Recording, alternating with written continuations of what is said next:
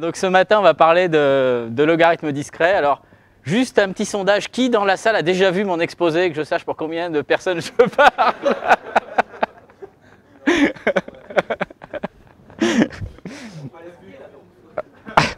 Bon. Alors, le premier slide, en fait, je peux, je peux, même vous le faire rapidement parce que je crois que vous l'avez déjà vu. Euh, Cécile vous l'a présenté l'autre jour, sauf que, évidemment, elle n'est pas là. Normal. Hein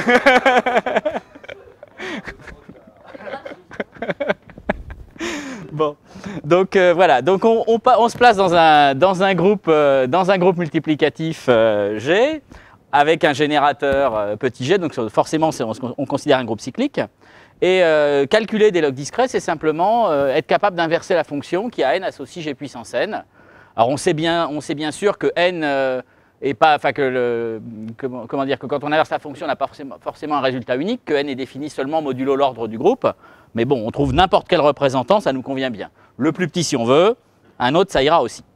Alors on sait que ce problème, euh, enfin, ce problème est considéré comme dur en général. Alors il y a des cas où il est super facile. Par exemple, si on prend un groupe additif euh, muni de son addition, eh ben, faire une, une division pour retrouver l'équivalent du log, c'est super facile. Donc en fait, ça dépend de comment le groupe est représenté. Alors vous savez tous que quand on a un groupe, euh, un groupe cyclique, eh ben, il est commutatif et que, ces groupes-là, ils, enfin, voilà, ils vont tous avoir une structure toute simple, ça va être, ça va être isomorphe à Z sur NZ pour un N quelconque. Ben, calculer des logs, c'est juste, d'une certaine manière, expliciter cet isomorphisme, dire, voilà, on est capable de, de, se ramener à la représentation additive la plus simple du groupe, euh, celle qui, qui montre sa structure. Bon. Alors d'un point de vue algorithmique, euh, on peut faire des trucs génériques, donc euh, là c'est bien connu, et on a, tout un tas d'algorithmes euh, en racine carrée. Alors le plus simple étant le baby step, giant step que, tout le monde connaît, mais qui a l'inconvénient de consommer une mémoire pas possible. Sinon, des méthodes comme la méthode Rho polar permettent également d'atteindre cette borne en racine carrée sans utiliser de mémoire.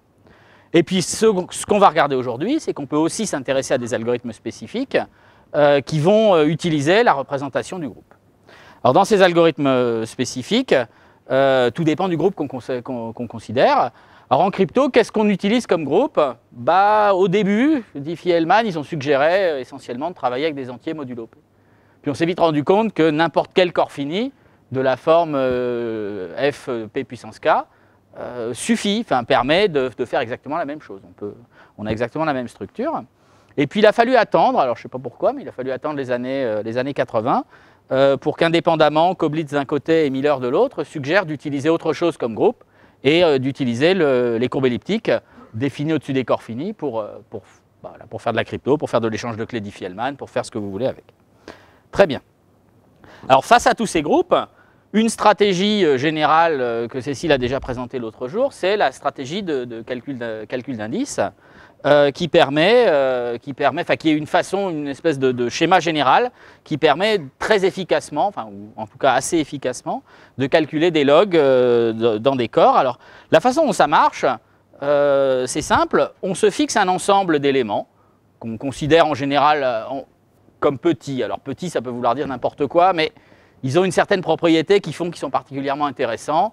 Euh, on dit qu'ils sont petits parce que souvent, bah, quand on travaille avec, du NFS dans des corps de nombre, les normes sont plus petites qu'une borne. Quand on travaille avec des polynômes, leur degré n'est pas trop gros. Euh, quand on travaille euh, sur des courbes elliptiques, on choisit des éléments qui, qui, ont des propriétés un peu particulières, comme avoir une abscisse spéciale. Enfin bon, voilà, tous ces objets, on dit qu'ils sont petits. Et une fois qu'on a ces objets petits, ce qu'on cherche à faire, c'est à trouver des relations multiplicatives qui n'impliquent que les objets de ce petit ensemble. D'accord? Alors ces relations multiplicatives, euh, on peut soit dire on a un produit d'éléments égal à un autre, soit dire on a un produit de trucs avec des exposants positifs ou négatifs égal à 1, on fait ce qu'on veut. Et puis une fois qu'on a, une telle, euh, relation multiplicative, euh, ce qu'on fait c'est qu'on passe au log. Puis quand on passe au log, la relation multiplicative devient un truc additif, et ça devient une forme linéaire dans les logs des éléments de la base. Et voilà, ça nous donne une équation qui doit être satisfaite. Pour que le produit soit égal à 1, il faut bien que la somme des logs soit égale à 0. Et une fois qu'on a, a ça, on a une équation linéaire sur les éléments de la base. Et bah, une seule, ça ne suffit pas, donc on va en chercher beaucoup. Puis quand on va avoir suffisamment d'équations, à partir d'un certain point, on va se dire, tiens, ma matrice, euh, elle a, euh, elle a euh, alors elle ne peut pas être de rang plein, puisqu'on sait qu'il y a forcément un élément dans le noyau, mais elle a le rang maximal qu'elle pourrait atteindre, qu'on qu imagine, donc elle a, elle a une codimension 1. Et quand on est dans cette configuration-là, il suffit de faire de l'algèbre linéaire.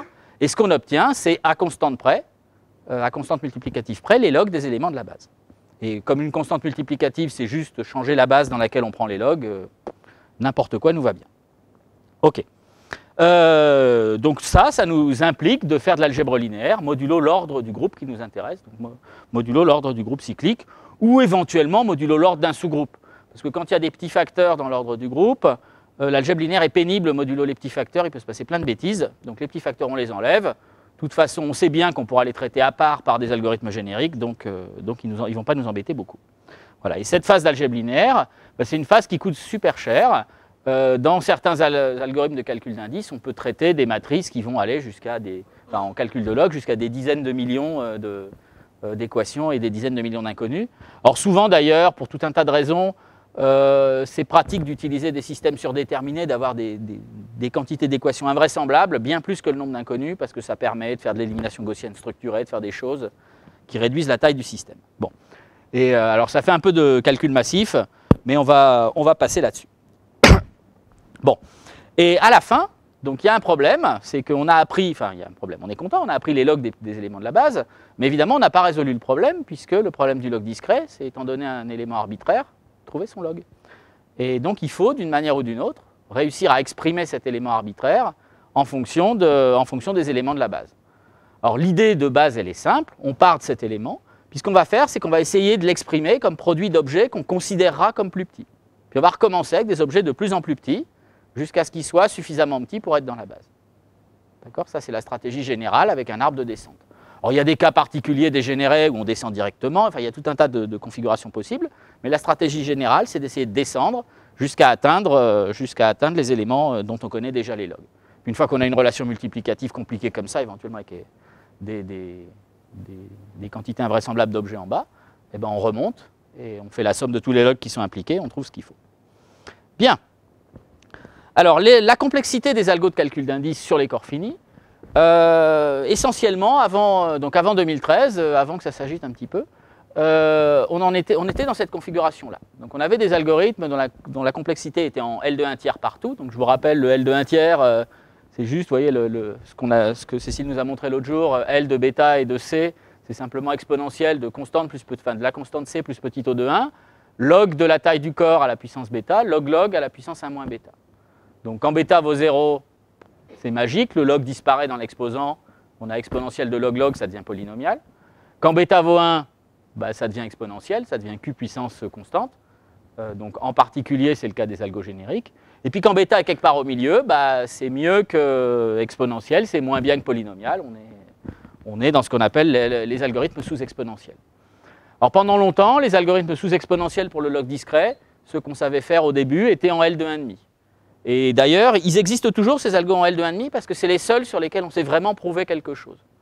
D'accord? Les algos en L de 1 tiers qu'on a là, euh, c'est des algos qui sont, euh, qui sont bourrés d'heuristiques, enfin, d'hypothèses bizarres, euh, qui en pratique semblent bien marcher.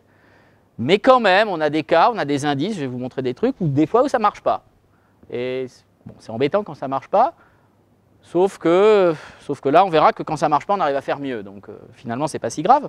Mais voilà, on a, ces hypothèses heuristiques qui ne sont pas forcément entièrement satisfaisantes si vous avez envie euh, d'avoir une vraie complexité complètement prouvable.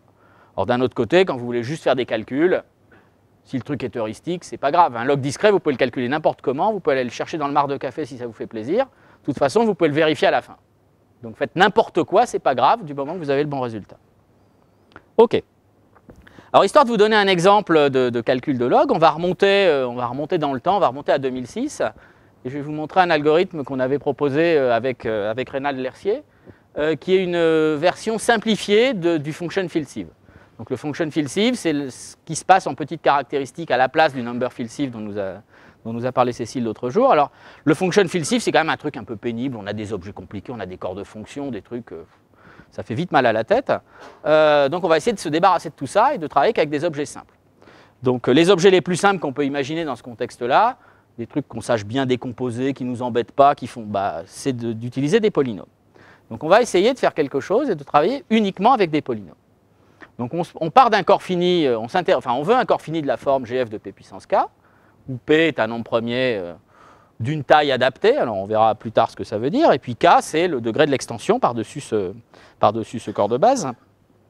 Et ce qu'on fait, c'est qu'on va d'abord choisir une bonne représentation du corps fini.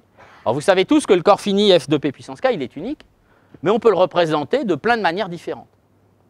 N'importe quel polynôme irréductible de degré k va vous donner une représentation du, corps fini. Alors elles sont toutes équivalentes, passer de l'une à l'autre, c'est juste un changement linéaire de, coordonnées, mais, mais d'un autre côté, euh, si, euh, si, on a une représentation qui est plus sympa pour nous, autant la choisir.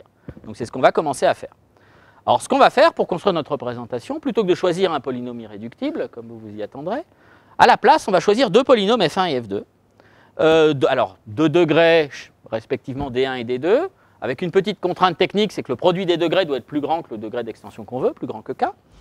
Et, et puis on va dire, voilà, on cherche f1 et f2 au hasard, on les échantillonne, jusqu'à ce que le polynôme x moins f1 de f2 de x est un facteur irréductible de degré k.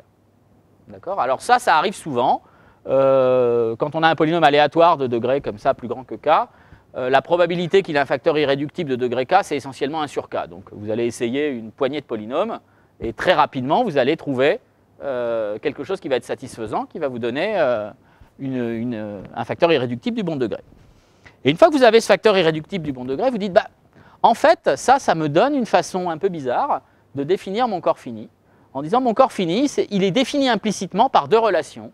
Je cherche un corps fini de, degré k au-dessus du corps de base, dans lequel vont exister deux éléments x et y, tels que x soit égal à f1 de y, donc x va pouvoir s'exprimer comme un polynôme de petit degré en y, et y comme un polynôme de petit degré en x. Donc on a deux, voilà, on a, on a deux, ces deux relations, et euh, comme, euh, comme, ces deux relations impliquent, euh, en substituant y, en remplaçant y par sa valeur, que x est égal à f1 de f2 de x, ça veut dire que x moins f1 de f2 de x doit être égal à 0 dans mon corps fini. Et comme il y a le facteur irréductible de degré k, bah, on a le bon corps fini qui apparaît, on est content. OK. Alors une fois qu'on a ça, on a un diagramme commutatif qui apparaît comme l'autre jour. Mais ce diagramme commutatif, il a une propriété très sympathique. C'est qu'à gauche et à droite, au lieu d'avoir des trucs compliqués qui vont m'embêter avec, euh, je ne sais pas quoi, moi, des, groupes de classes, des unités tout un tas de choses pénibles, il n'y a rien, il n'y a que des polynômes. D'accord? Donc on part euh, en haut de mon diagramme commutatif, on a un anneau de polynômes en, bivarié, enfin, donc les, polynômes euh, modulo P, comment dire, avec deux, variables grand X et grand Y. Et, on peut prendre ces polynômes et les envoyer dans les anneaux de polynômes en univarié soit en x soit en y, en remplaçant x par, f2 de, par f1 de y ou en remplaçant y par f2 de x. D'accord? Une fois qu'on a fait ça, on sait que si on reprend les polynômes qu'on a obtenus à gauche et à droite et qu'on substitue dans l'un grand x par la valeur petit x du corps fini et grand y par la valeur petit y du corps fini, on va forcément arriver sur le même objet à cause de la façon dont x et y ont été définis. D'accord? Donc maintenant, le truc c'est de se dire, bah, je prends des objets en haut, pas trop gros, je les envoie sur des polynômes qui vont, qui vont être pas trop gros aussi, leur degré va être raisonnable, et je vais espérer que ces polynômes de degré euh, pas trop gros vont se décomposer en produits d'éléments suffisamment petits, donc ils vont être dans ma base, euh, dans ma base de décomposition. Puis une fois qu'on aura fait ça, on aura une relation en remplaçant grand x par petit x d'un côté et grand y par petit y de l'autre, on aura une relation multiplicative entre polynôme de petit degré en x et polynôme de petit degré en y dans mon corps fini. D'accord? Et si ma base de, décomposition, c'est tous les éléments qui sont là, tout va bien, euh, on aura une relation comme il faut, et on en générera le nombre qu'il faut pour, euh, pouvoir faire l'algèbre linéaire derrière. D'accord? Alors, ce qu'on va faire maintenant, c'est qu'on va se placer dans le cas optimal de cet algorithme. Alors, le cas optimal de cet algorithme, si je reviens sur le dessin, où on voyait les, différents algos, en fait, il est juste sur la frontière entre le bleu et le rose. D'accord? Il est juste quand on se met avec une caractéristique qui peut s'écrire comme L de 1 tiers de la, de, la, taille complète du corps. Donc ça, ça veut dire quoi? Ça veut dire que dans la taille complète en bits de mon corps fini, euh, la caractéristique va contribuer à peu près pour un tiers et l'exposant pour les deux tiers. D'accord? C'est comme ça que ça va, être équilibré. Donc maintenant qu'on en est là, qu'on se place dans le cas optimal, eh ben dans le cas optimal, on a envie d'avoir un algorithme en L de 1 tiers. Donc on a envie d'avoir une base de décomposition qui soit en L de 1 tiers. Comme, mon corps fini, il est déjà en L de 1 tiers, bah, ma base de décomposition, je ne vais pas pouvoir prendre des polynômes de degré trop gros parce que ça fera un truc pénible. Donc je vais juste prendre des polynômes linéaires. Je vais prendre x moins, tous les polynômes de la forme x moins alpha, y moins alpha, je vais les mettre dans ma base et on va regarder ce qu'on peut faire avec. Donc euh, ce qu'on va faire maintenant, c'est qu'on va choisir des polynômes euh, tout en haut, je vous ai dit pas trop gros. Bah là, pas trop gros, ça va être juste des polynômes bilinéaires. Donc des polynômes qui vont contenir les monomes constantes, x, y et xy. D'accord? Et quand on prend un polynôme comme ça, il y a essentiellement trois degrés de liberté parce que les constantes du corps fini, leur log, de toute façon, ça va être des objets tout petits, donc on va pouvoir les, traiter par les algos génériques, donc on oublie. Donc les constantes multiplicatives qu'il peut y avoir devant le polynôme, on les met en facteur, on les oublie. on, se retrouve avec des polynômes unitaires avec un coefficient de tête xy. Et, euh, et puis après, ce polynôme, donc il y a 3 degrés de liberté, ce polynôme xy plus ay plus bx plus c, on va juste l'envoyer à gauche et à droite dans mes deux anneaux de polynômes en remplaçant soit y par f2 de x, soit euh, x par f1 de y. On se retrouve avec ces deux polynômes univariés qui vont être l'un de degré d2 plus 1 et l'autre de degré d1 plus 1. Je vous rappelle que d1 et d2 étaient les degrés euh, respectifs de f1 et de f2. OK. Donc maintenant, si les deux côtés se décomposent en produits de termes linéaires, on obtient une relation. Alors ce qui va, euh, ce qui va piloter la complexité de l'algorithme, c'est euh, quelle est la probabilité que ça arrive, pour savoir combien d'objets il va falloir regarder, pour savoir tout ça. OK. Alors, la probabilité que ça arrive, c'est là qu'il y a une heuristique euh, bien, cradouille qui apparaît, c'est de dire, voilà, la probabilité que ça arrive, c'est l'inverse de cette constante. Donc le coût de trouver une relation, c'est ça, c'est factoriel de d1 plus 1 multiplié par factoriel de d2 plus 1. Alors d'où ça sort? Ça sort du fait que sur un corps fini, quand la caractéristique n'est pas trop petite, quand la caractéristique est toute petite, il se passe des trucs pénibles. Vous savez bien qu'en caractéristique 2, euh, bon, les choses ne sont pas sympas, mais si la caractéristique est suffisamment, grande, euh, quand vous prenez un polynôme de degré d, aléatoire, la probabilité qu'il se décompose en, en termes linéaires, en produit de termes linéaires, est très très proche de 1 sur factoriel de d. D'accord Quand la taille du corps tend vers l'infini, euh, la, probabilité tend vers, euh, vers 1 sur factoriel de d. D'accord Donc, euh, sauf que là, on n'a pas des polynômes aléatoires. Pourquoi on n'a pas des polynômes aléatoires? Simplement parce qu'il n'y a pas assez de degrés de liberté. Un polynôme de degré d1 plus 1 qu'on va choisir dans un sous-espace de dimension 3, il n'est clairement pas aléatoire dans tout l'espace. C'est clair. Donc la probabilité que l'un de ces polynômes se factorise, il n'y a pas de raison que ce soit 1 sur factoriel du degré. Et puis comme les deux ne sont pas indépendants l'un de l'autre, il y a encore moins de raisons que la probabilité que les deux factorisent en même temps, ce soit le produit des degrés. D'accord? Enfin, le produit des factoriels des, degrés plus 1. Euh, donc en gros, quand on est en train de dire que le coût de trouver une relation, c'est ça, on est en train de dire n'importe quoi.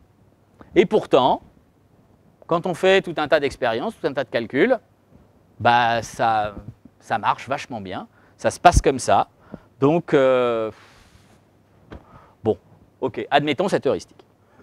D'accord? Bon, puis je ne vais pas rentrer pour l'instant dans la phase de, calcul de log individuel, parce qu'en fait, sa complexité est négligeable par rapport à la complexité de, trouver le log des éléments de la base. Donc pour l'instant, on va juste rester sur la partie, euh, initiale de l'algorithme. Ok.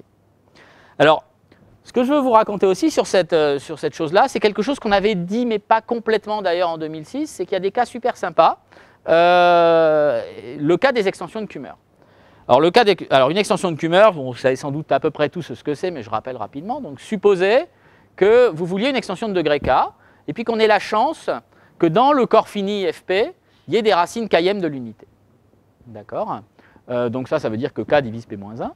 Et bien à ce moment-là, on peut choisir un, élément t du corps fini euh, qui va être tel, ça se trouve facilement d'ailleurs, qui va être tel que x puissance k moins t euh, est un polynôme irréductible. D'accord? Alors pourquoi, euh, pourquoi est-ce qu'on peut faire ça? Le cas le plus simple, c'est quand k est le degré d'extension est lui-même premier. À ce moment-là, il suffit de choisir n'importe quel t qui n'est pas une puissance km de quelque chose, et ça va vous donner un polynôme irréductible. Dans le cas où k est, produit de plusieurs nombres premiers, c'est un peu pénible parce qu'il faut que le k soit puissance pm pour, enfin puissance qm pour aucun des nombres premiers qui divisent k. C'est un peu, un peu casse-pied.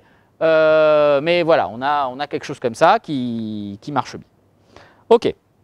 Alors une fois qu'on a ça, supposons en plus que K soit égal à D1 fois D2, pour D1 et D2 assez proches l'un de l'autre, moins 1. À ce moment-là, ce que je prétends, c'est qu'il va suffire de dire, euh, de prendre comme, comme, définition y égale x puissance D1 et euh, t fois x égale y puissance D2. Parce que si vous substituez l'un dans l'autre, vous retrouvez comme polynôme x puissance D1, moins, D1 D2 moins t fois x. Et en mettant le x en facteur, vous retrouvez avec le polynôme, le facteur de degré, euh, de degré irréductible k qu'on cherchait. Donc tout va bien. Donc c'est un cas où il n'y a pas besoin de chercher les polynômes f1 et f2 au hasard, on les a, ils sortent euh, spontanément, et on peut les utiliser euh, sans problème. Alors bon, on peut aussi faire quelque chose de similaire pour d1 fois d2 plus 1. Je ne vais pas rentrer dans les détails. Alors pourquoi c'est intéressant de faire ça? Ben Parce que quand on a une extension de Kummer, il se passe un truc magique. Euh, c'est qu'on est capable de réduire la taille de la base de, licité par un gros facteur qui est le degré d'extension. Et, alors quel est l'intérêt de faire ça? Ben, L'intérêt c'est que dans tous ces algos, ce qui coûte le plus cher, c'est quand même la phase d'algèbre linéaire. L'algèbre linéaire, c'est pénible parce que ça ne se, distribue pas très bien sur des grands nombres de machines. On est obligé de faire, de faire des, choses un peu pénibles. Je ne vais pas rentrer dans les détails, mais gagner un facteur k sur la taille de la matrice, bah, c'est super sympa. Ça va nous gagner essentiellement un facteur k au carré sur le coût de l'algèbre linéaire, donc on est, on est content. Et pourquoi on gagne un facteur k? Bah, voilà, Regardons ce qui se passe. Imaginez que vous preniez l'élément x plus alpha, vous prenez l'élément x plus alpha dans le corps fini, il va avoir un certain log. Maintenant, regardez son image par Frobenius, x plus alpha à la puissance p. Bah, clairement, par linéarité du Frobenius, c'est x puissance p plus alpha. Et comme on sait que dans le corps fini, x à la puissance k vaut t, comme on sait aussi que p, 1 est un multiple de k, eh ben, on peut réécrire ça comme étant t à la puissance quelque chose, à la puissance p-1 sur k, fois x plus alpha. Et ce quelque chose d'ailleurs, ça va être une racine km de l'unité dans mon corps fini, donc appelons-la mu. On la met en facteur, et on trouve que x plus alpha à la puissance p, c'est une racine km de l'unité mu, facteur de x plus alpha sur mu. Bon, je vous ai dit tout à l'heure, les logs des constantes du corps de base, on s'en fiche parce que, euh, comme l'ordre est petit, on les traitera autrement. Donc le mu, on s'en fiche. Donc ce qu'on sait, c'est que le log dans la partie du groupe qui m'intéresse de x plus alpha, quand on le multiplie par p, c'est le log de x plus alpha sur mu. D'accord? Donc ça, ça, met une relation très simple entre deux valeurs de log. Donc il suffit de calculer l'un pour avoir l'autre. Et en fait, comme on va avoir non, non seulement le, comment dire, le résultat d'une application du Frobenius, mais le résultat d'autant d'applications qu'on veut, et que le Frobenius, on peut l'appliquer k fois jusqu'à revenir au point de départ, eh ben, on va remplacer k variable qu'on avait avant par une seule, ce qui va nous, nous diminuer notre base d'un facteur k. Alors il faut bien sûr vérifier que sur y, il se passe la même chose. Mais bon, c'est tellement symétrique qu'on se doute bien que ça va marcher aussi. D'accord?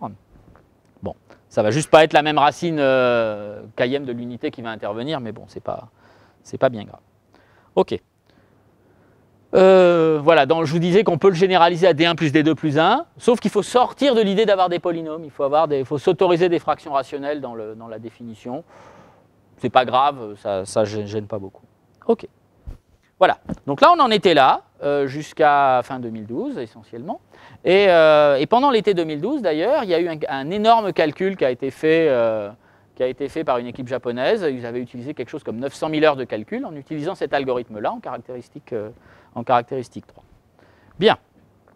Alors maintenant, je vais vous montrer une première idée, toute bête, qui a été publiée à Eurocrypt l'an dernier, qui va nous montrer comment faire pour voir que cette probabilité 1 euh, sur factoriel de D1 plus 1 fois 1 sur factoriel de D2 plus 1, c'est n'importe quoi, du moins dans certains cas, et qu'en fait, euh, le fait que ce soit n'importe quoi, ça nous aide.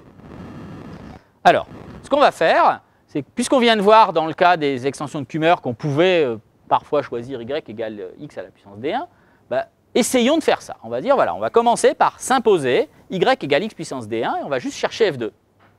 Bah, ça ne change pas grand-chose vous allez vous rendre compte que si vous essayez au hasard des F2, en ayant fixé euh, y égale x à la puissance d1, vous trouvez quand même des F2 de degré d2 qui vont vous donner un facteur irréductible, de degré k assez vite. Donc euh, ce n'est pas une vraie restriction, ça ne nous gêne pas beaucoup. Mais alors qu'est-ce que ça change dans la recherche de relations? Bah, Ce que ça change, c'est que le polynôme xy plus ay plus bx plus c, quand on remplace y par x puissance d1, c'est un polynôme plus simple qu'avant. Au lieu d'avoir plein de monômes dans tous les sens auxquels on ne comprend rien, on a juste un polynôme contenant 4 monomes, x à la puissance d1 plus 1, x à la puissance d1, x est constante. OK. Alors regardons-le, ce polynôme, et ce qu'on voudrait, c'est qu'il se décompose en produit de termes linéaires. Bon, alors, d'accord? Euh, bah, Faisons un truc tout bête. Regardons ce qui se passe si on fait un changement de variable. Compose petit x égale a fois grand x. Ce que je prétends, c'est qu'après le changement de variable, on a a puissance d1 plus 1 qui se met en facteur, parce qu'il apparaît dans le, premier monome. Il se met aussi en facteur du deuxième monome, parce que comme il y avait déjà un a, euh, bah, on, a, un a puissance d1 en plus, donc, euh, donc ça va bien. Et puis, euh, les deux autres monomes, il se passe des trucs bizarres, ça fait une formule pas jolie que vous avez, là affichée. Mais ce qui, est, rigolo quand même, comme on a le droit, comme je vous l'ai dit, plein de fois déjà, d'ignorer les constantes multiplicatives qui sont devant, bah, il nous reste un polynôme dans lequel, au lieu d'avoir 3 degrés de liberté, il n'y en a plus que 2. D'accord? Donc on a fait disparaître quelque chose. Bon. Et puis, par contre, on a préservé quelque chose d'essentiel. Ce que je prétends, c'est que si le polynôme d'en haut, alors il faut choisir dans le changement de variable, il ne faut pas que A soit nul, sinon c'est pénible. Hein. Mais si le polynôme d'en haut se décompose en produit de termes linéaires, euh, celui d'en bas aussi. Pour le voir, bah, vous écrivez ce polynôme est égal à un produit de, un produit de termes linéaires, vous faites le changement de variable et vous voyez bien qu'après le changement de variable, un terme linéaire devient linéaire. Et ça marche dans les deux sens. Si le produit d'en bas, euh, si le truc d'en bas se décompose dans les termes linéaires, pour n'importe quel choix de A, vous allez pouvoir retrouver un polynôme d'en haut qui, euh, lui aussi se décomposera. Et bien, ce qu'on va faire maintenant, euh, c'est qu'on va se dire, bah, cherchons un polynôme de la forme x puissance d1 plus 1 plus x à la puissance d1 plus constante fois x plus constante, qui se décompose. Alors ça nous coûte quelque chose, grosso modo 1 sur factoriel de d1 plus 1, si on suppose que l'heuristique est, est vrai pour ce polynôme tout seul isolé. Mais une fois qu'on l'a trouvé, en faisant le changement de variable à l'envers, à partir d'un polynôme qui se décompose, on en trouve P-1, parce qu'on n'a pas le droit d'utiliser 0 dans le changement de variable, mais on en trouve P-1 de la forme euh, d'en haut, qui se, décompose aussi en produit de. Et puis une fois qu'on est remonté à un polynôme d'en haut, c'est très facile de le réécrire sous la forme xy plus ay plus bx plus c. Et donc c'est facile, une fois qu'on est en haut, de le redescendre de l'autre côté, du côté y. Et d'aller voir ce qui se passe du côté y. Bon. Et en fait, ce qui se passe, c'est qu'en faisant ça, eh ben, on est en train d'amortir le coût de la recherche de, de la recherche d'une relation en se disant, voilà, au lieu de faire comme avant, de chercher quelque chose qui simultanément au hasard va se décomposer à la fois à gauche et à droite. On va chercher quelque chose qui se décompose d'abord à gauche. On va en faire plein de copies, on va les regarder si ça se décompose à droite. Et ça, ça va amortir le coût de la recherche d'une relation. Et essentiellement, on va gagner un facteur P-1. Il faut faire attention, bon, si, les trucs sont mal équilibrés, on gagne, c'est pour ça qu'il y a un plus 1 dans la formule, mais essentiellement, on gagne un facteur P-1 pour, à condition que les degrés soient bien choisis et que tout aille bien. D'accord? Bon. Et donc ça, ça montre bien euh, que, ce qu'on disait avant, que le coût de la recherche, c'était le produit des factoriels des degrés, euh, simplement à cause de l'hypothèse heuristique, et c'est faux, parce qu'il n'y a pas d'indépendance dans tous ces polynômes qu'on considère. Il y, a des, paquets de trucs qui vont ensemble, et on arrive à exploiter euh, ces interdépendances. Ok. Bon. Alors, comme on a regardé le cas des extensions de Kummer, bah, regardons-le à nouveau. avec, avec, cet algorithme spécialisé, avec son changement de variable. Donc on fait notre définition comme avant. Mais ce qui se passe, c'est que si vous faites le changement de variable qu'on vient de faire, il se passe un truc comme ça côté x et tout va bien. Mais vu la forme de y, bah, on va avoir du côté y un, polynôme qui lui aussi va contenir que 4 monomes de degré d2 plus 1, d2 constante, enfin y est constante. Et donc, euh, on pourra faire exactement la même transformation, Sauf que cette fois-ci, ce n'est pas un changement de variable qui implique A, c'est un changement de variable qui implique B. Bon, pas bien grave, mais on peut faire exactement le même truc. On peut trouver les polynômes qui n'ont plus que 2 degrés de liberté qui se factorisent et puis essayer de voir ce qui se passe. Bien. Alors maintenant, regardons simultanément les deux côtés. Alors quand on regarde bien, sous la forme que j'ai écrite, vous voyez que ces deux polynômes, ils ont la propriété amusante que la constante à l'intérieur, une fois qu'on a mis en facteur euh, ce qu'il faut, la constante qui est à l'intérieur, c'est la même pour les deux polynômes. Vous avez la même constante, C sur AB, pour les deux polynômes qu'on a fait apparaître à gauche et à droite. D'accord? Donc ça veut dire quoi? Ça veut dire que si on cherche à faire les choses à l'envers, à prendre deux polynômes qui se décomposent en x et y et à leur rechercher un ancêtre commun, bah, on n'aura pas le choix. Il faudra partir de deux polynômes qui ont la valeur de la constante intérieure identique. OK? Donc ça, c'est une première contrainte. Et on va se poser comme question, bien sûr, est-ce qu'on est capable de prendre ces deux polynômes qui ont la valeur de la constante intérieure identique et de les réassembler pour leur trouver un ancêtre commun? D'accord? Parce que si on sait faire ça, on voit qu'on va avoir un algorithme super rapide. On va préconstruire les machins qui ont que 2 degrés de liberté, on va recoller tous ceux qu'on peut recoller ensemble pour trouver tous leurs ancêtres communs, et ça ira bien plus vite que tout ce qu'on pouvait faire avant. OK. Alors, imaginons qu'on ait deux objets comme ça qui se décomposent. Essayons de voir à quelles conditions on peut les recoller, on peut leur retrouver un ancêtre commun, un triplet ABC qui va donner ce qu'il faut. Bon, bah, il suffit de dire, voilà, euh, si on regarde les transparents, faites-moi confiance sur la copie des formules, ça va. Euh, si on regarde le transparent d'avant, on voit que le θx que j'ai mis là, en fait, c'est b sur a, à la, c'est b sur a à la puissance d1. Et puis θy, c'est a sur b à la puissance d2. Et la question, c'est, étant donné θx et θy, peut-on trouver a et b telles que ces deux équations soient satisfaites Alors on regarde ça, on se dit, oh là là, c'est des équations pénibles, mais bon, allez, on réfléchit un petit peu. Et puis on voit bien que si on fait θx à la puissance d2, qu'on multiplie par θy, ah, miracle, b disparaît. Donc il ne nous reste que du a. Il nous reste a à la puissance moins k. D'accord Donc est-ce qu'on peut résoudre l'équation a à la puissance moins k égale ce truc, θx puissance euh, d2 fois θy euh... Bon, bah, en fait, oui, à une seule condition, que cet objet, θx à la puissance d2 fois θy, soit une puissance km de quelque chose dans le, corps fini. Si ce n'est pas une puissance km, il n'y a pas de solution. Si c'est une puissance km, il n'y a qu'à solutions différentes qui sont toutes obtenues à partir de l'une d'entre elles en multipliant par une racine km de l'unité. D'accord? Donc on se dit, bah, si on arrive à les recoller, on est content. Si on n'y arrive pas, euh, bah, ça ne va pas. Donc la question maintenant, si on veut faire un truc algorithmique efficace, c'est comment faire pour trouver les θx et θy qui vont ensemble sans avoir à les tester, sans que ce soit pénible. Bah, en fait, souvenez-vous, k est petit. D'accord? Donc comme k est petit, calculer des logarithmes mode k, c'est super facile avec un algo générique, euh, même, avec de la, recherche exhaustive, c'est super facile. Donc ce qu'on va faire, c'est qu'on va fabriquer deux grands tableaux, et dans ces deux grands tableaux, on va dire, OK, du, côté des x, je vais prendre tous mes objets qui se décomposent, et je vais les classer par paquet en fonction de la valeur de log du, log mod k de θx à la puissance d2. Donc on obtient k paquets différents. Et puis du côté des y, je vais faire k paquets en fonction de la valeur du log, du log mod k de 1 sur θy. Et ce que je dis, c'est que quand je prends un objet du paquet de gauche et un objet du paquet de droite correspondant à la même valeur de log, bah, le log du produit des deux trucs, je me suis arrangé pour que ça fasse 0, donc ce sera une puissance km. Et si c'est une puissance km, on pourra les recoller. Donc qu'est-ce qui se passe? Vous avez tous vos polynômes qui se décomposent, vous les coupez en k paquets. Tous les autres de l'autre côté, vous coupez en k paquets. Vous prenez les paquets qui se correspondent parce qu'ils ont les mêmes logs. Et n'importe quel polynôme du paquet 1 fois recollé avec n'importe quel polynôme du paquet 2 va nous donner des solutions pour A. D'accord? Alors on va avoir k solutions différentes pour A. Elles seront conjuguées les unes des autres en fait par l'action du Frobenius. Donc, il faut en compter qu'une. Et, euh, et maintenant, une fois qu'on a A, retrouver B, c'est pas dur. Vous utilisez le fait que B, c'est θx fois A puissance D1.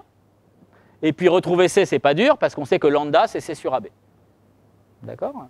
Donc euh, voilà, donc c'est super rapide. Quand on a les deux équations, vous avez juste à calculer euh, une racine km et hop, vous avez retrouvé ce qu'il fallait. D'accord? Et puis, euh, et puis une fois que vous avez ces deux polynômes, vous savez qu'ils décomposent. Vous n'avez même pas besoin de les refactoriser pour trouver l'équation qui va avec parce que vous connaissez déjà la factorisation des polynômes, euh, des polynômes de référence en x et en y, et vous savez que l'ancêtre commun est obtenu par deux changements de variables à gauche et à droite. Donc il suffit d'appliquer le changement de variable sur les racines pour retrouver les racines qui interviennent dans l'équation et donc écrire l'équation sans même rien avoir à faire. Alors du point de vue des performances, c'est assez incroyable. C'est-à-dire qu'avec la vieille stratégie que je vous ai présentée tout à l'heure, qu'on avait en 2006, trouver pour un, pour, pour, un calcul raisonnable, enfin quelque chose qui, était des records à l'époque, trouver une relation, ça prenait euh, quelque chose qui était de l'ordre de la seconde à peu près. D'accord? Avec cette nouvelle approche, les relations, on les trouve plutôt euh, à des rythmes du genre quelques millions par seconde, sans aucun mal. D'accord Donc il n'y a vraiment plus aucun rapport entre, euh, entre les techniques algorithmiques qu'on avait avant de crible où, on secouait les équations dans tous les sens jusqu'à en trouver des sympas, et ce qu'on fait maintenant avec ces, changements de variables. Alors par contre, étonnamment, enfin je ne sais pas, enfin étonnamment euh, a priori, du point de vue théorique, ça ne change pas grand-chose, ça reste un algorithme en L de 1 tiers. Ça gratouille un peu sur la constante, mais ça reste un algo en L de 1 tiers. Donc ce n'est pas forcément génial. En pratique, du point de vue des records, ça donne quand même des choses assez intéressantes. Donc le, premier, donc, euh, le premier record euh, qui a été fait avec cette technique, c'était euh, le 24 décembre euh, 2012. Euh, donc c'était juste un corps fini de 1175 bits, donc de la forme P puissance 47, avec P un nombre premier proche de 2 puissance 25, et 47 égale à 6 fois 8 moins 1. D'accord? Donc vous avez des 1 et des 2. Euh, quelques semaines plus tard, en janvier, vous avez eu un 1425 bits, euh, exactement la même chose, sauf que ça a utilisé 7 fois 8 plus 1 au lieu de moins 1. D'accord? Bon, Je ne suis pas rentré dans les détails de ce qui se passe quand on a des fractions, euh, quand on a du 1 sur y, mais c'est essentiellement la même chose. Et ce qu'il faut voir, c'est qu'à l'époque, le record qui avait pris tant de temps pendant l'été 2012, en caractéristique 3, c'était un corps fini sur 923 bits.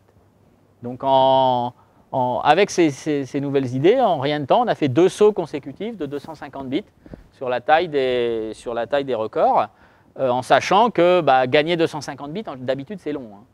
Euh, C'est-à-dire que si on remonte dans le temps, 200, pour, pour, faire 250 bits de moins, il faut remonter, euh, il faut remonter, je ne sais plus exactement, mais dans les années 90 en tout cas, enfin, il, y a, vraiment longtemps. OK. Et puis en plus, il faut comparer les timings. Donc le, gros record qui avait été fait par les Japonais pendant l'été, c'était à peu près 900 000 heures euh, CPU. Euh, ici, chacun de ces deux records était de l'ordre de 30 000 heures. Donc à peu près un trentième de la puissance de calcul. OK. Bon. Donc voilà, ça, ça c'est la fin de, cette petite, de, juste ce petit changement de variable euh, stupide qui permet, d'améliorer les choses. Et alors, question naturelle, c'est est-ce qu'on peut faire mieux que ça? Et alors le cas, euh, le cas intéressant où on peut essayer de faire mieux que ça, c'est le cas, euh, d'aller voir ce qui se passe en petites caractéristiques.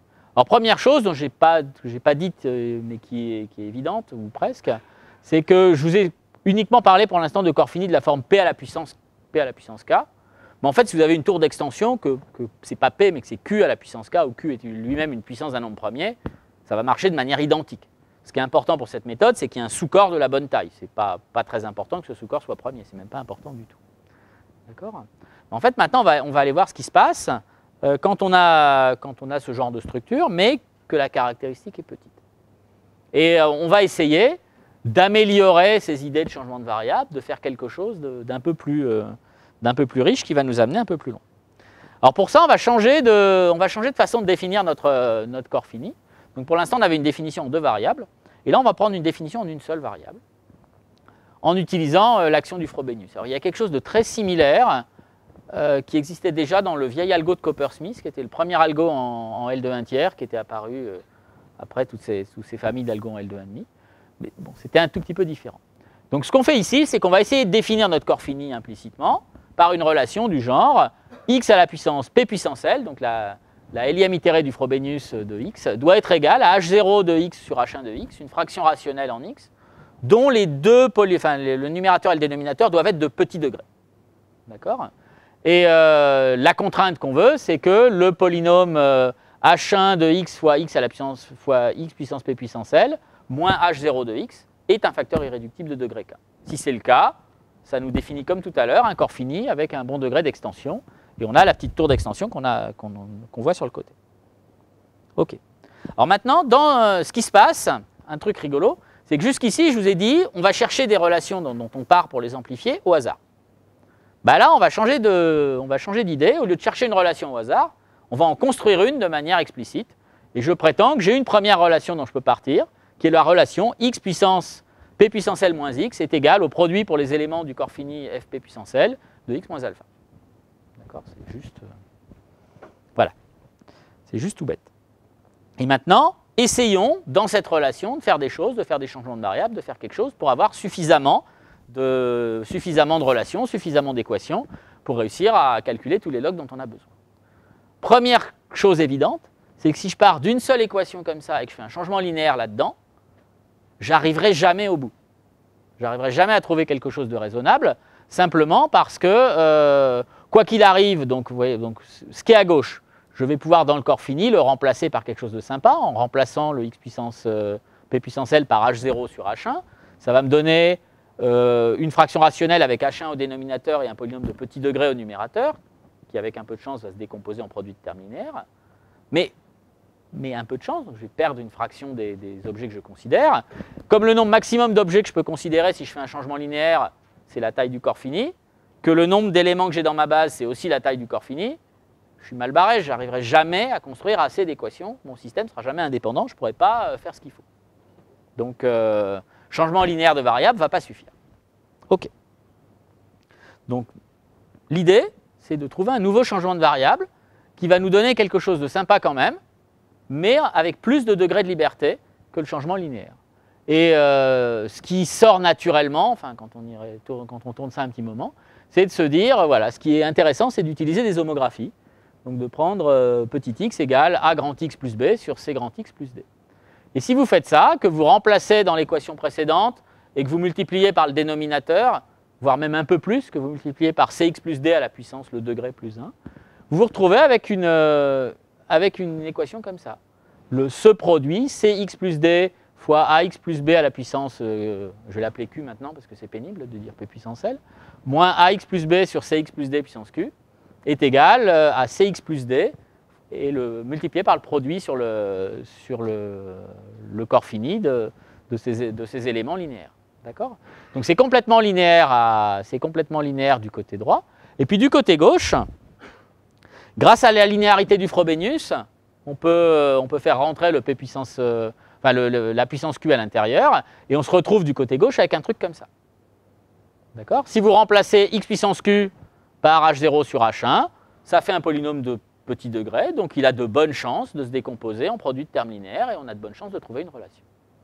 D'accord? Bon. Et pour peu qu'on en trouve suffisamment, eh ben voilà l'idée de base de l'algorithme. Alors quand je vous raconte ça, je suis en train de vous arnaquer un tout petit peu, euh, parce que comme j'ai rien dit de spécial, si je vous demande, d'après vous, où je suis allé chercher mes coefficients ABCD, euh, vous allez vraisemblablement me dire bah, dans le corps fini qu'on a sous la main, dans le, dans, dans le FP puissance L. Euh, bah, en fait, c'est une très mauvaise idée. Parce que si vous prenez ABCD dans, euh, dans le FP puissance L, vous avez juste une homographie avec des coefficients dans FP puissance L. Et ce que fait cette homographie, géométriquement, c'est que si vous prenez la, droite projective P1 de, FQ, et en fait, le, le fait d'avoir multiplié par un truc à la puissance D1 plus 1, d'avoir cet objet supplémentaire, cet objet supplémentaire correspond à un point à l'infini sur la droite projective. Donc, euh, donc ce qui se passe, en fait, c'est que l'action de l'homographie permute la droite projective, permute les points, mais, mais, globalement, la droite est laissée invariante. Donc en fait, on regarde la même relation, on regarde le même objet, donc on obtient, on tourne en rond toujours sur la même chose. Donc ça n'a pas de sens de faire ça. Donc si on veut que ça ait du sens, eh bien, il faut prendre une homographie avec euh, ABCD dans un corps fini un peu plus gros. Alors le plus petit des corps finis un peu plus gros qu'on peut prendre, c'est FQ carré. D'accord? Et si vous prenez dans FQ carré, ce qui va se passer, c'est que là, bon, il y aura certains choix qui seront équivalents, tous ceux qui, seront équivalents à homographie euh, à coefficient dans FQ près, mais bon, peu importe. Euh, mais on a, on a quelque chose de sympa. Et, on a suffi et ce qui est intéressant, c'est que dans ce contexte-là, on a suffisamment de choix de ABCD pour réussir à construire un nombre de, relations suffisant par rapport aux éléments de la base. Alors, l'inconvénient d'utiliser FQ carré, c'est que ma base vient de s'agrandir d'un coup. Au lieu d'être x plus constante du petit corps fini FQ, c'est devenu x plus constante du corps fini FQ carré. Il y a un petit prix à payer à cet endroit-là, mais bon, ce n'est pas, pas trop grave. Et si vous faites ça, que vous faites exactement ce que je viens de vous dire, vous avez un algorithme qui vous permet de trouver les logs des éléments linéaires de la forme x plus un élément de FQ carré euh, en temps polynomial, de manière extrêmement rapide. simplement parce que le corps, euh, fini euh, FQ ou FQ carré est minuscule par rapport à FQ puissance K. Et c'est pour ça qu'on obtient, obtient quelque chose de si efficace sur cette partie. Alors évidemment, le problème, ce qui est dur, c'est le calcul des logarithmes individuels.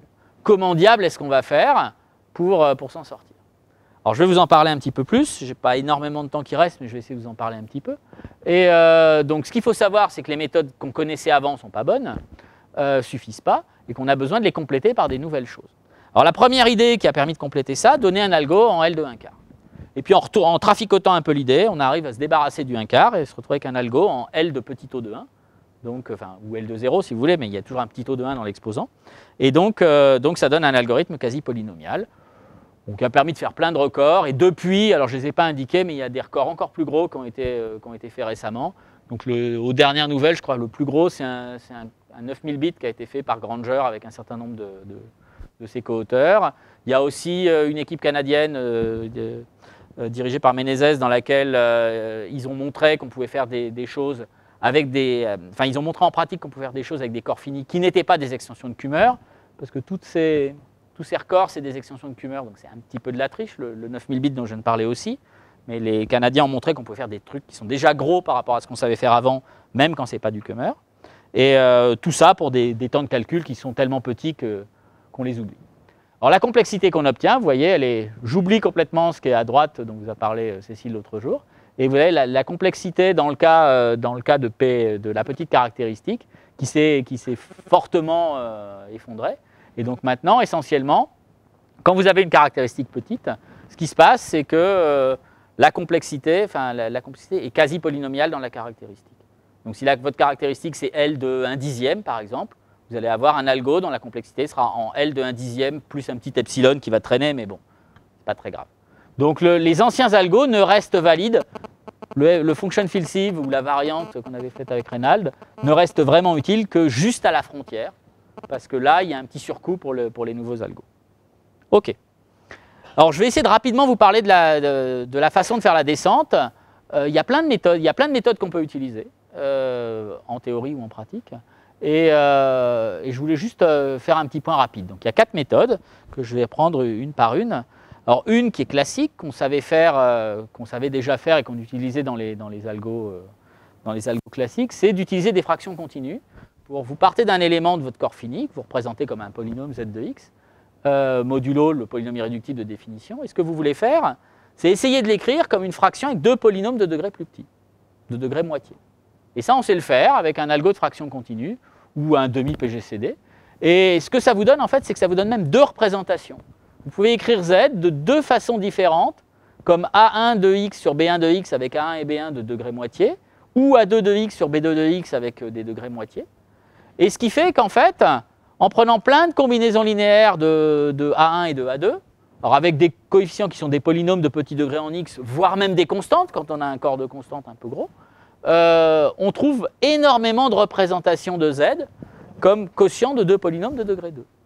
Puis ces représentations ont une structure sympa, donc en utilisant des algos de crible comme on avait avant, on peut assez facilement retrouver des éléments qui vont s'écrire comme euh, un quotient de deux polynômes de degré moitié, qui en plus vont se décomposer en produits euh, d'objets beaucoup plus petits, de degrés plus petits. Donc ça c'est la première phase qu'on utilise, parce que ça permet de bien couper l'arbre de descente, de partir de bien plus bas, et d'éviter euh, l'explosion combinatoire de la descente. Donc, euh, donc passer un peu de temps sur les fractions continues. Asymptotiquement, ça ne sert à rien dans l'analyse de complexité. En pratique, c'est super bien. Voilà. Ensuite, on a les techniques de descente classiques qui remontent à 2006, qui ont besoin d'avoir deux variables x et y et euh, qui permettent d'exprimer un polynôme en bivarié en xy de, de deux côtés en forçant l'objet qui nous intéresse, dont on veut le log, de l'un des côtés. Une fois qu'on l'a forcé, on trouve une relation avec d'autres plus petits, et, puis on continue à descendre. Alors on a besoin de deux variables, et là on n'en a qu'une. Bah, ce qui se passe, c'est que, si Q a un sous-corps, a une structure sympa, euh, de la forme P puissance L, essentiellement on peut introduire Y en appliquant grosso modo la moitié du Frobenius sur X. Alors vous allez me dire, si elle est impaire, on fait quoi? Bah, on, prend, euh, on prend L1 égale L, plus, L sur 2 euh, arrondi inférieurement, et puis L2 égale L sur 2 arrondi supérieurement. Et donc ce qui se passe, c'est que vous allez avoir vous allez poser y égale cette action partielle du Frobenius sur x. Et à ce moment-là, y, quand vous referez agir le Frobenius dessus, vous retomberez sur le x puissance q, qui est la fraction rationnelle de petit degré en y. Donc on a deux polynômes de petit degré qui relient x et y. Et une fois qu'on a fait ça, si vous prenez un polynôme bivarié en x et y, vous allez pouvoir avoir une relation entre ces deux côtés et espérer que les deux côtés se décomposent. Et, vous voulez forcer un facteur à diviser un côté, par exemple le côté, gauche. Et ça, c'est très facile à faire en fait. Parce que forcer un facteur à diviser, bah, vous prenez tous les monômes qui interviennent, vous les réduisez le modulo le facteur qui vous donne. Ça vous donne euh, une représentation qui a un polynôme de degré 1 de moins que z. Et il suffit de faire de l'algèbre linéaire là-dessus pour, euh, que ce truc s'annule. Et donc, euh, donc forcer qu'un diviseur à apparaître, c'est de l'algèbre linéaire. C'est super facile, super efficace. Et ce qui est sympa dans cette descente classique, c'est que l'arbre de descente, il n'est pas large du tout il y a très peu de, polynômes de petits degrés qui apparaissent ici parce que les, degrés ne euh, sont pas très élevés. D'accord? Donc ça, c'est sympa. Le problème, c'est que ça ne peut pas descendre trop bas, ça bloque à un moment. Et donc quand on veut faire la, descente euh, dans le contexte que je viens de vous montrer, le mieux qu'on arrive à faire avec cette descente classique, si on est prêt à payer le coût de L de 1 quart que je vous montrais tout à l'heure, le mieux qu'on arrive à faire, c'est descendre à un degré qui est la racine carrée du degré de départ, et on ne peut pas aller plus bas. On coince. Donc il faut descendre plus bas. Alors pour descendre plus bas, il y a deux approches. Euh, pour descendre plus bas, on va considérer des relations qui vont ressembler à celles qu'on a utilisées pour trouver les logs des éléments de la base. Mais on va essayer de forcer le facteur qui nous intéresse, soit à gauche, soit à droite, selon le cas qu'on envisage. Donc la première idée, c'est d'essayer de forcer z du côté gauche. Donc ça, ça veut dire, on va chercher deux polynômes k1 et k2, qui seront tels que z divise le numérateur de cette fraction, de ce truc ici. Alors ce que j'appelle K1 tilde, c'est juste K1 dans lequel j'ai fait agir le Frobenius sur les coefficients. Je ne touche pas au monôme, je fais juste agir le Frobenius sur les coefficients. OK. Et eh bien en fait, si, euh, pour forcer ça, si on arrive à forcer ça, ça veut dire que dans une relation qui est essentiellement la même que ce qu'on avait avant, avec des polynômes de degrés plus gros, on aura forcé le polynôme qui nous intéresse à apparaître à gauche. Et comme à droite, les objets qui apparaissent ont des degrés plus petits que z, parce que K1 et K2 n'ont pas besoin d'avoir un degré aussi gros que Z. Si on sait faire ça, on arrive à descendre, mais on a une, on a une arité dans la descente qui est assez grosse. D'accord? On va avoir Q ou Q plus un terme qui vont apparaître à droite, et donc ça va faire beaucoup. Donc on va avoir un arbre de descente qui va s'élargir d'un coup. OK. Alors comment est-ce qu'on trouve K1 et K2 Je passe, on peut soit utiliser des techniques euh, algébriques de base de Grobner, soit on peut s'amuser avec de la réduction de réseau. En pratique, euh, ce n'est pas très efficace, mais asymptotiquement, ça donne la même chose. Euh, alors, si vous trouvez mieux, ce serait génial. si vous trouviez une méthode directe, en utilisant je ne sais pas quelle propriété jolie, ça permettrait d'accélérer considérablement les choses. Bien. Alors, et puis l'autre idée qui, est apparue dans l'algo, ce qui permet de descendre au L de 0, donc à l'algo quasi polynomial, c'est de faire apparaître Z non pas à gauche mais à droite. Donc pour faire apparaître Z à droite, ce que vous dites, c'est qu'on va considérer des, relations dans lesquelles qu'on va engendrer en utilisant euh, des Z de x plus constantes, ou Z, de x plus constante 1 et Z de x plus constante 2 dans la relation. Et si vous regardez ce qui se passe, vous allez voir que droite, ce qui apparaît, euh, apparaît là-dedans, alors le côté gauche, on va espérer qu'il se décompose en polynômes de degrés plus petits, ce qui va arriver avec probabilité raisonnable, et à droite, tous les polynômes qui vont apparaître seront des polynômes de la forme z de x plus une constante. Si vous regardez bien, en mettant en facteur les termes de tête, tous les polynômes qui apparaissent sont de la forme z de x plus une constante. Donc ça veut dire quoi? Ça veut dire qu'on crée une relation qui implique z de x et puis tous ses copains z plus constante, dans la relation. Alors, ça ne suffit pas puisque c'est Z que vous voulez faire apparaître. Ben, Ce n'est pas grave. Vous trouvez plein de relations comme ça, vous faites de l'algèbre linéaire et vous allez simultanément récupérer Z et puis tous ses, petits frères. Alors, le truc, c'est que cette fois-ci, l'arité de la descente, c'est plus Q, c'est Q carré. Q carré, ça devient pénible. Donc, en pratique, qu'est-ce qui se passe Quand vous regardez l'arbre de descente, euh, avec les fractions continues, on fait qu'une étape, mais elle est super gentille, donc tout va bien, on ne peut pas en faire plus. Voilà. Euh, la descente classique, on fait ce qu'on peut, même s'il y a plein de niveaux. On essaye de descendre le plus vite possible, bien sûr, mais même s'il y a plein de niveaux, ce n'est pas grave parce que l'arité de l'arbre n'est pas, pas, grande. Euh, la descente bilinéaire, il y a une arité de Q. On ne peut pas faire plus que 4 ou 5 niveaux. Un Q, c'est de l'ordre de 256 dans les records. Si vous faites 4 niveaux, vous êtes déjà à 2 puissance 32 feuilles dans votre arbre, 5 niveaux, 2 puissance 40. C'est pas la peine d'essayer de faire plus, ça va être l'horreur. Et pour la descente quasi polynomiale, on fait deux niveaux maximum. Donc en fait, en pratique, la descente quasi-polynomiale, on ne l'utilise pas. On utilise la descente bilinéaire en forçant comme des malades pour réussir à descendre rapidement. Et puis euh, tout ce qu'on peut en descente, classique ou en fraction continue. Voilà. Euh, donc pour ceux qui, qui avaient vu mes versions précédentes, vous avez un peu plus sur la descente que d'habitude. Et maintenant, je suis prêt pour vos questions.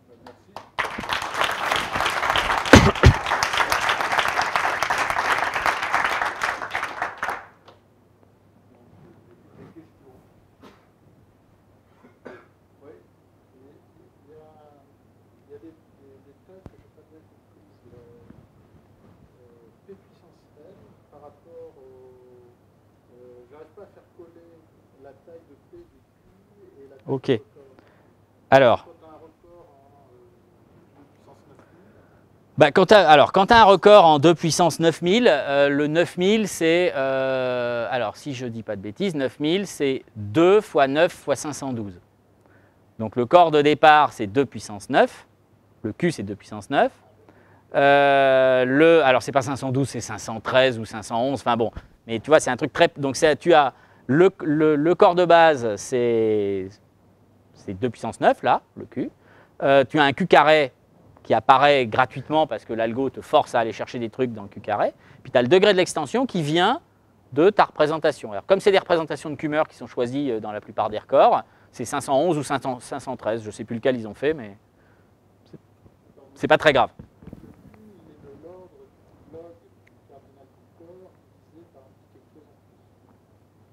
Le Q, ouais, c'est oui, c'est en fait, il faut, il faut grosso modo que le sous-corps que tu es, qui te sert de point de départ, euh, soit à peu près aussi gros que le degré d'extension que tu veux. D'accord. Donc, donc Q, il est, bah, enfin, il est, il est, il est pas si gros que ça parce que le degré d'extension dans le corps fini, il ne peut pas être euh, monstrueux, sinon tu vas avoir des, tu vas avoir des tailles euh, hallucinantes. D'accord voilà, donc, dans les records, voilà, voilà ce que ça donne. Le plus gros des records, le 9000, c'est ça. C'est 2 fois 9 fois 513 sans doute.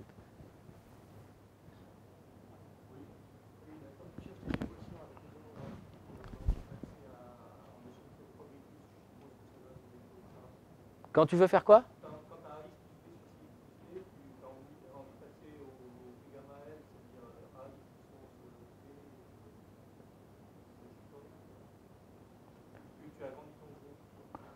Bah, le problème, c'est qu'il faut. Euh... tu mettrais, tu mettrais quoi? Tu mettrais.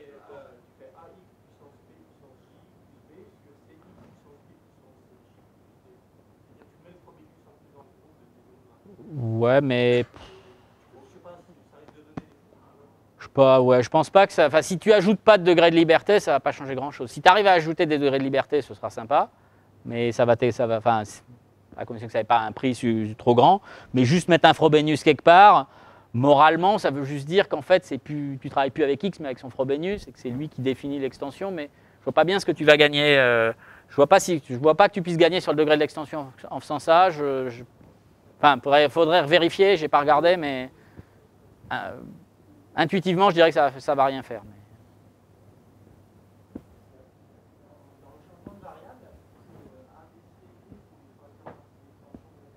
Ouais.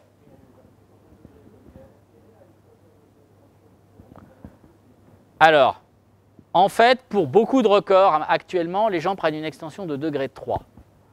Alors, euh, quand tu fais une extension de degré 2, dans la partie descente, il y a juste une étape que j'ai passée sous silence, c'est qu'aucune des quatre méthodes de descente directe, enfin, en fait, pardon, euh, Seule la quatrième étape de descente, la méthode quasi polynomiale, permet de descendre du degré 2 au degré 1. Donc en fait, quand on veut traiter le degré, quand on veut traiter le degré 2, ça coûte cher, et on est obligé de les fabriquer par paquet euh, en utilisant la méthode quasi polynomiale. Euh, Et ça, c'est un peu pénible.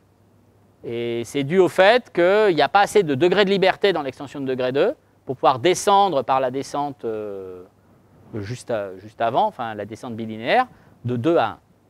Par contre, si on prend, comme, euh, si on prend un degré d'extension de 3, on a une base qui au départ est plus grosse, elle est en Q au cube au lieu d'être en Q euh, au carré. Mais par contre, on peut descendre directement du degré 2 au degré 1 par la méthode bilinéaire. Donc au final, quand on regarde tous les compromis dans tous les sens, il y a des configurations où ça coûte un peu moins cher en prenant du degré 3 que du degré 2. D'accord? Mais c'est un peu. Il y, a plein de trucs tricky, il faut tricher, on a besoin d'avoir. De... Enfin bon, c'est un peu le bazar, alors que la méthode, la méthode avec le degré 2, elle est, elle est à peu près clean tout le temps.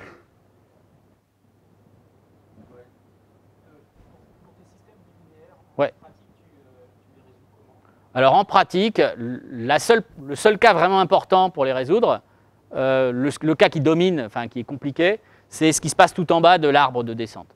Pour ce qui, se passe en haut, il n'y en a pas beaucoup, donc on s'en fiche, on les résout euh, n'importe quoi en appelant magma si on veut, et ça, va très bien. Euh, ce, qui, coûte cher, c'est ce qui se passe en bas. Et en bas, en fait, je ne l'ai pas dit, je l'avais écrit, mais je n'ai pas eu le temps de le dire, tout ce qui est base de Grobner, etc., dégénère complètement, et on fait tout avec de l'algèbre linéaire élémentaire, parce qu'en en fait, on a des systèmes dont le degré de régularité c'est 1 en gros. Donc en fait, on fait rien. Oui.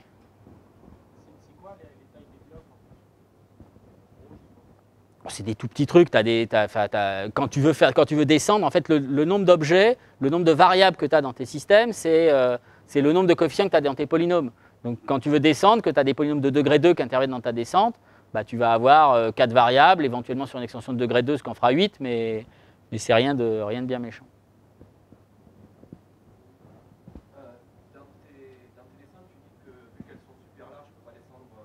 Beaucoup d'étages, oui. Mais euh, j'imagine qu'en pratique, si tu as un log individuel, il ne va pas dépendre de 2 puissance 40 petits logs. Euh, donc tu n'as pas moyen de couper les branches euh, Bah si, il va dépendre de beaucoup. Oui, oui, oui.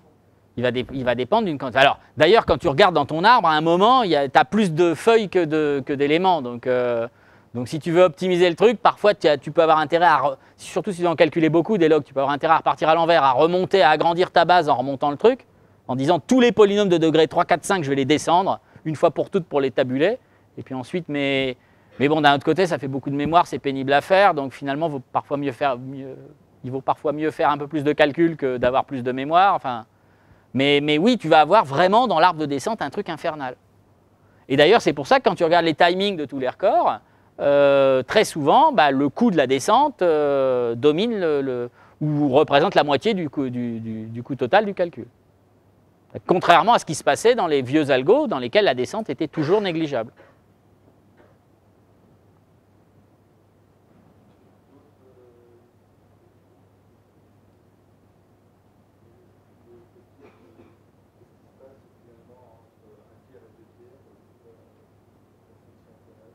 Bah si, il y a des gens qui s'y intéressent. T'as pas écouté l'exposé de Cécile?